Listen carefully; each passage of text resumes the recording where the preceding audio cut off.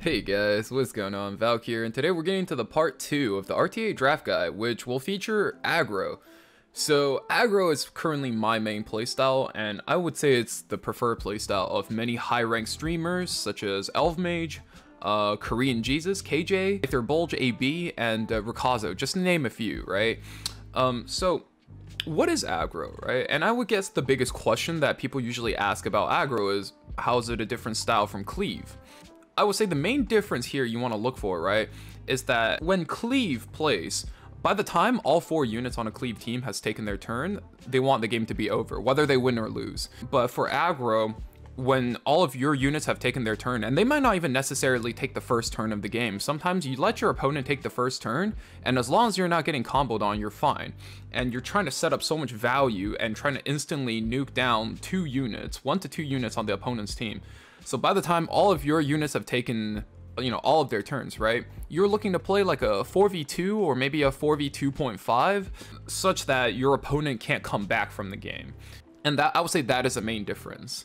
So part of aggro instead of focusing on just having top speed and comboing all of your units it focuses a lot on you know interpreting your opponent's speed reading their natural speed and then picking high value heroes right so imagine if you're playing at 200 speed, right? Um, if I play my unit at 300 speed, uh, yeah, sure, I'm 100 speed faster, right? But I'm also losing a lot of other stats that you're going to be able to have at 200 speed. Whereas for aggro, if you play a 200 speed unit, I'm going to try to read that. And if I draft a 210 speed unit, I'm going to be faster than you uh, pretty much 99 out of 100 games. And then I'll still have enough relevant stats to be able to outvalue your 200 speed unit. So that's kind of the main philosophy of aggro. Um, as far as the pros and cons go, I would say number one, aggro doesn't require insane gear. It's just a lot of mid-tier speed gear along with high gear score uh, damage gear. Um, aggro has a tool to handle all types of opponents. Even when you're being outsped, if you can identify a key pick and just kind of come back from letting your opponent take the first turn, this, this is honestly something that happens quite often. And uh, also, aggro, I would say, have very flexible units. So you can always pivot in and out, right? As far as cons go for aggro, I would say it requires very deep knowledge of the game and the meta. So if your opponent picks something, you must know what they're banning, right? Uh, if you guess incorrectly, a lot of times an aggro comp kind of falls apart because aggro relies on heavy hard counters. Um, you have to be able to guess speed thresholds correctly. A lot of times, if you guess the speed wrong and uh, something that shouldn't be outspeeding outspeeds you, you probably lose. Uh, the other thing is that it requires a very deep hero pool, whereas like uh, Cleave or Standard uses a lot of RGB units, Aggro probably uses the highest amount of ML5s in the game, so it's it's very expensive to play, which is why the Aggro players are usually players who's been playing the game a long, long time. And um, I would say a third weakness of Aggro is that it's very vulnerable to hard crowd control, so if you're playing without like uh, a very well-built mediator Kawerik without playing like an Amelia, especially DN in this meta, um, it's very difficult to overcome things like uh, Angel of Light or a Solitaria, or you have to maybe play under Payra. It's very, rare, very tough. So as far as units go, uh, my personal preference for pre-bans is usually Bellion. Uh, what Bellion does is Bellion is really good at stopping aggression, especially AoE aggression. Having a Bellion pre-ban lets me play two things. It lets me play Spectre Tenebria because now my unit is really safe and they don't have a free AoE unit to attack me back. And on top of that, I get to play a lot of Tagehel's Ancient Book units, which allows me to play um, very aggressive in the early game and it lets me make plays. My personal favorite to also pre-ban is Conqueror Lilias. I think a lot of players who are really good at the game love to first pick Conqueror Lilias when they have that first pick and then ban her when they don't have the first pick. I think against aggro, she's as strong as she's always been. So definitely a very scary unit. And these would be my two personal preferences for pre-bans. I think Angel of Light is another one of those units that's really annoying and sometimes a little too strong. So keeping her out of the game will usually um, just kind of help facilitate to make sure your units can do their jobs. Another unit to consider right now uh, is DN. I think DN is really, really good at stopping aggression, and on top of that, uh, she's kind of too fast and she enables too much value of her own. As far as my own units go, one of my first picks always involve a attack buffer or a unit that can kind of initiate the fight. Um, it's been Payra for me for a long time, but with a DJB buff, it's a little bit dangerous to draft her if you don't ban around or play around that DJB. Uh, outside of that, sometimes, depending on what I feel like or what my opponent has banned, I pick up the DN or I pick up the Amelia. And if it looks like my opponent's about to play a lot of crowd control or something very slow, Mediator Kawerik work just fine, and it's usually one of these units. And in games where, due to circumstances, C. Lilias isn't pre-ban and I still have first pick, I would just pick up my C. Lilias. I think she's very hard to overcome when she's first pick without the appropriate um, countering units. Now, as far as my middle units, um, as stated previously, uh, my Spectre Tenebria is one of my favorite units in the game. I think especially with a Bellion pre-ban, she's as strong, if not stronger, than the likes of Hwayoung and Apoc Ravi. Now, if you don't like to play Spectre Tenebria or play with a Bellion pre-ban, I think picking up an A Ravi or a Hwayoung is just as viable. If the enemy has a lot of fast units, fast single target units, I think a Landy's just as viable. If the enemy starts to pick up a lot of barriers, a lot of times I look to pick up my Operator Sigret. And if the enemy plays a lot of tanky units where they tank down, I think a Straze is really valuable to pick up as well. Rimuru, really strong, um, very good at coming back versus like units that can counterattack with buffs on them. Uh, you're really good at killing things like Rem. Politis is also really good if your opponent has a lot of Soul Weavers, as well as other units that kind of use non-attacking skills. Kisei is another unit I recommend a lot, especially if you're playing into units like Hwayoung, Apoc Ravi, and Little Queen Charlotte. Ahri is a unit I definitely look at too. Less of a DPS and kind of more like a knight, if, a very aggressive knight if you think about it. Uh, she kind of walls off a lot of these single target bruisers that's very popular in the meta, and on top of that, she's really good at stripping buffs. And if your opponent ever ends up in a situation where they have too many honest bruisers that just kind of trade hit for hit, I think Spirit Selene is always good. Now, once I've picked up two more DPS, I'm going to look to kind of close out the draft with one final counter DPS, plus one final attack buffer and they should somehow almost always synergize. Now, as the last counter DPS, if they don't have like uh, like a Violet or a Green Armin, I almost always look to pick up Ida on 5. Ida on 5 is just so hard to stop under the appropriate circumstances. And then you can kind of just cleave their entire team with this unit alone. Very, very powerful. If you're worried about your speed contester speed, uh, Watcher Shuri. I think Green Cidd's really strong as well, especially if you build very high damage, mid speed, um, just to kind of like nuke down a target, right? He could potentially kill up to two people, and I would say he's really good at killing things that um, is supposed to counter aggro, like Arby, right? If your opponent is also playing a very aggressive comp, uh, you can also throw in a Rem or, you know, a Violet, right? Just to kind of play defense around them. And as far as that last attack buffer goes, uh, if my opponents play a little bit too slow, I throw in a Closer Charles. I think Closer Charles check in, uh, check a lot of slower drafts very, very well. Um, if the enemy has too many revives, uh, if you pick a Sinful Angelica on last, it's almost always a four span. Uh, definitely really good. And if any one of the earlier attack buffers that I mentioned is still left up, definitely still viable to pick. So let's take a look at the first draft we have for the day. This is, I would say, mainly what a Valk draft looks like. And, um, you know, if you guys were here for the last video, right? Whereas something like Standard has a core of one DPS carry, a support, and a mitigator, Aggro runs what we call an like an engine instead, which is usually a combination of two attack buffers and CR pushers, plus one more CR pusher that can CR push the rest of the team. And I would say CR manipulation is one of like the most important way to play aggro outside of just knowing the opponent's speed very well. So in this game in particular, my engine is made up of Amelia, Charles, and Operator Sigret. All three of those heroes, right? Especially if you consider Amelia, right? If, if they ban my Amelia, my Charles can push my Operator Sigret, which can kind of just go sicko mode on a FCC team. If they ban my Charles, Amelia pushes Operator Sigret, same thing happens.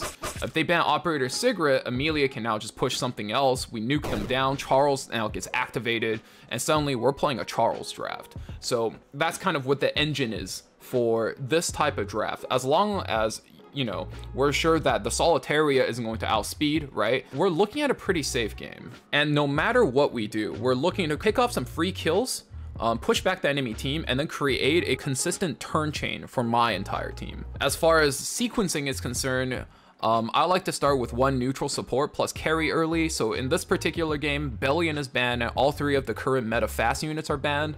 So I'm perfectly okay just letting him have Hwayoung, pick up my own Amelia plus a Steny, right? So Amelia safe here because Hwayoung does reduce damage to water units, and Steny can't get kicked, she has permastealth. So we're good there. So after this, right, um, our opponent takes FCC plus Landy. Coming back to me, right, on pick three and four, now I have, I need to be able to do two things. I need to be able to answer the FCC, and I need to be able to answer the Landy.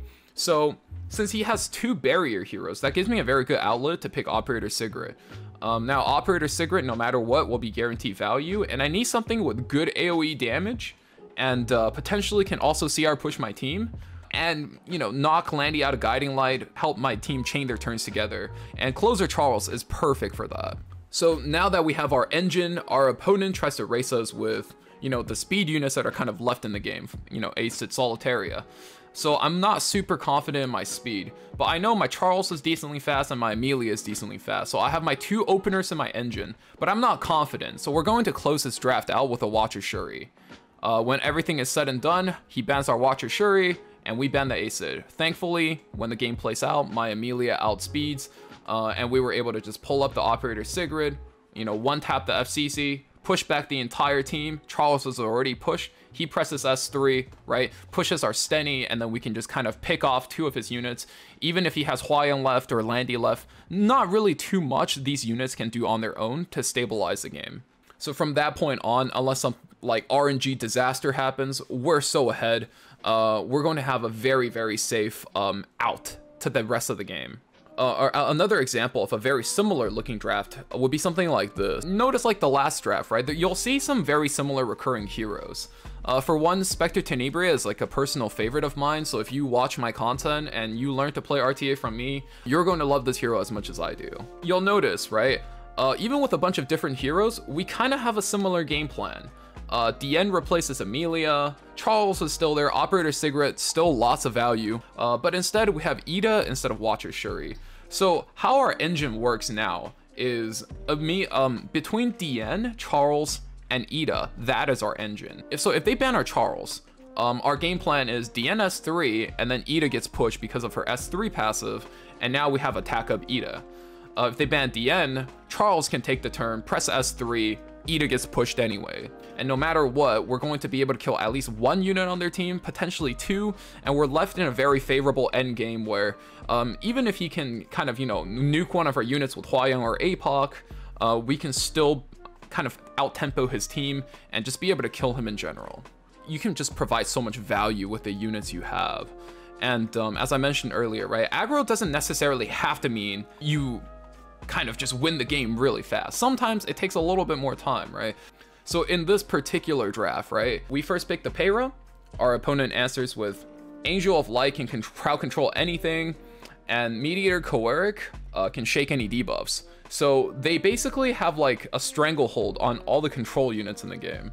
So for me, I don't really care. I take Amelia, which I think is very good versus both of these units, and I take Spectre Tenebria, right? Spectre Tenebria is one of those units where um, even if I don't get any buffs, even if I'm crowd controlled by Angel of Light, I can soul burn out of the silence, I press S3, right?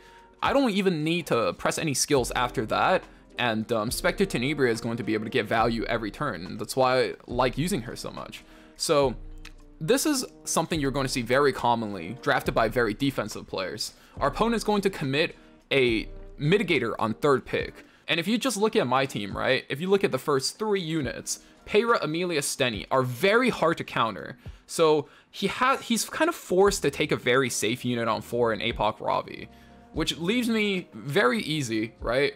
I pick up an LQC, which is just one of the most premium ways to kill an APOC Ravi, since especially since Hwayoung has been, right? And I just take a Destina. Basically, a Destina completely removes the Angel of Light's turn, right? For a unit that doesn't do any damage, um, to have her debuffs removed is so detrimental, right?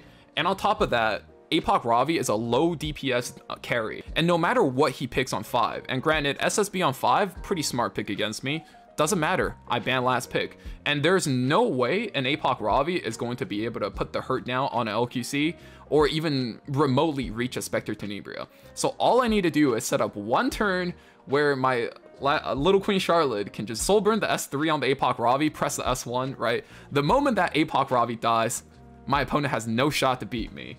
And, um, you know, sometimes you don't have to kill every unit on your opponent's team, you just have to kill the right unit.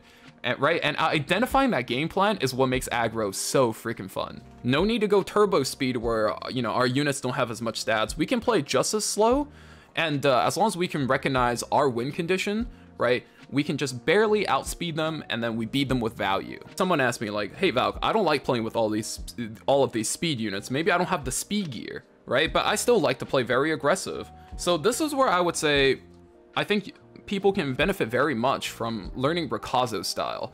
And the Rakazo is like a legend player, and he has a very different approach to playing aggro. So instead of playing these fast units and then kind of shifting the pace of your team appropriately, what he does is he picks FCC first, and then he picks Amelia, which is a very standard way to play the game, right? Um, FCC Amelia Steny is basically like a standard team. So the and he does this to lull his opponents into a false sense of security. So when the opponent commits an equally standard and mid-range draft, uh, he he instantly commits all of his aggressive units. So in this particular draft, Spectre Tenebria can very safely deal with uh, Hua and Archdemon. Operator Sigret can potentially one-shot Hua and, you know, press S3 and bust out all of Arya's stealth and protect teammates. Lionheart Cermia can instantly activate off of these two counter units in Archdemon and Arya and present a major, major threat because a lot of these units rely on having pretty high defense, and guess what? Lionheart Cermia penetrates defense. So you kind of pinch your opponent in this way where you're just incredibly offensive.